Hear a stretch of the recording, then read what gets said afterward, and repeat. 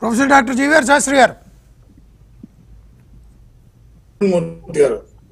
ఎన్నికల విధులు ఎన్నికల బాధ్యతల నుంచి వాలంటీర్లు తప్పిస్తూ ఆదేశాలు జారీ చేశారు ఎన్నికల కమిషనర్. ఇప్పటివరకు మనం చూసాం స్థానిక ఎన్నికల్లో కానీ ఉప ఎన్నికల్లో కానీ ప్రభుత్వం తరపున ఎలా ప్రచారం చేసేవారు ఎలా వాళ్ళు తమకున్నటువంటి పవర్ని అబ్యూజ్ చేశారు అనేది. అంటే రాజ్యాంగ విధులు నిర్వర్తించడానికి కావాల్సిన విధి విధానం ఏంటనేది చాలా స్పష్టంగా ఉంది. రాజ్యాంగ విధులు ఎవరు పెడితే వాళ్ళు నిర్వర్తించడానికి లేదు. అది ఎలక్షన్ కమిషన్ చెప్పే పరిస్థితి దాకా తెచ్చుకున్నారంటే అది కరెక్ట్ కాదు.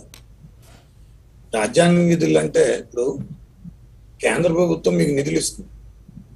ఆ కేంద్ర ప్రభుత్వం నిధులు సరిగ్గా మీకు అమలు చేయట్లేదు కాబట్టి ప్రైమ్ మినిస్టర్ డిసిషన్ తీసుకుని మొత్తం డిస్ట్రిక్ట్ కోఆర్డినేటర్లు అని చెప్పి ఒక జిల్లాకు వంద మంది రెండు వందల మంది కేంద్ర ప్రభుత్వం తరపున అపాయింట్ చేస్తుంటే రాష్ట్ర ప్రభుత్వాలు ఒప్పుకుంటాయి. ఒప్పు. అదే రకంగా రాష్ట్ర ప్రభుత్వం కూడా చేసింది తప్పు. ఎందుకంటే యాభై కుటుంబాలకి వాళ్ళ అబ్జెక్టివ్ వేరు. They are only not only వాలంటీర్లు కాదు వాళ్ళు అసిస్టెంట్లు.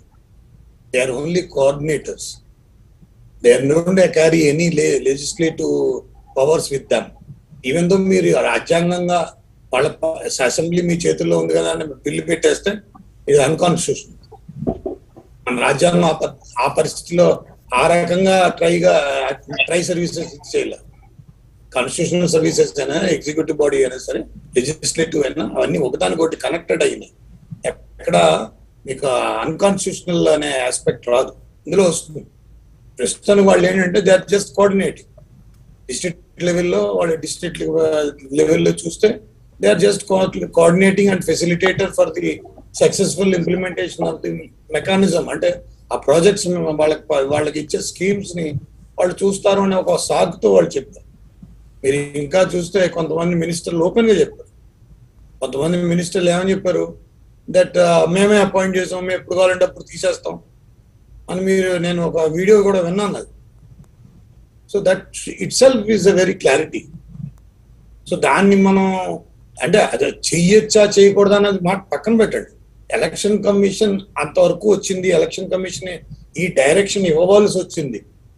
ఎలక్షన్ కమిషన్ ఆ డైరెక్షన్ ఎందుకు ఇవ్వవలసి వచ్చింది అనేది చాలా ఇంపార్టెంట్ అది చాలా ఇంపార్టెంట్ ఎందుకంటే అది న్యాయస్థానాల్లో అది కూడా రివ్యూకి వెళ్తుంది ఇది వచ్చింది. అంటే ఎలక్షన్ కమిషన్ సుమోటోగా ఏ ఆస్పెక్ట్స్ని కంప్లైంట్స్ని ఆధారంగా ఈ ఈ నోటీస్ ఇచ్చింది. ఆ ఈ క్లారిఫికేషన్ ఇచ్చింది. అది చా- అది అన్కాన్స్టిట్యూషనల్కి ప్రూవ్ అవడానికి in front of the court it's very important element అది తప్పు అది. అసలు ఆ పరిస్థితులు ఎందుకు తీసుకురావాలి? ఒక రాష్ట్ర ప్రభుత్వం తను చేసే సంక్షేమ పథకాలకి ఆ కోఆర్డినేటర్స్ కూడా మనం వాడుకోవచ్చు వాడారు. వాడొచ్చు వాడుకున్నారు వాడేశారు పాస్ట్ టెన్స్ ప్రెసెంట్ టెన్స్ ఏదైనా సరే. అసలు అంతవరకు ఎందుకు తీసుకొచ్చారు? వాళ్ళ ఉద్దేశం ఏంటి? What is their objective of making these things అనేది మనం చూడగలిగితే ఇది కరెక్ట్ కాదు.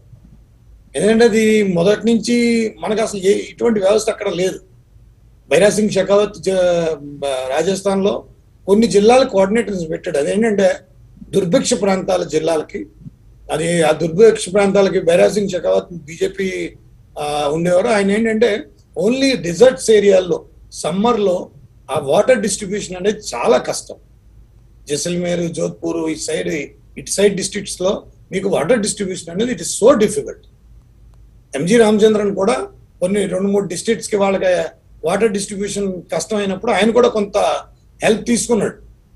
కానీ. వాళ్ళకి ఎక్కడికెక్కడ వాళ్ళని ఐడెంటిఫై చేయలేదు. వీళ్ళు- వాలంటీర్లు వాళ్ళకి ఉద్యోగాలు వాళ్ళ జీతాలు. Maybe they gave some contribution towards that district administration contribution ఇవ్వచ్చు. అది హోమ్ గార్డ్ లెక్క yeah they can give a contribution there no point.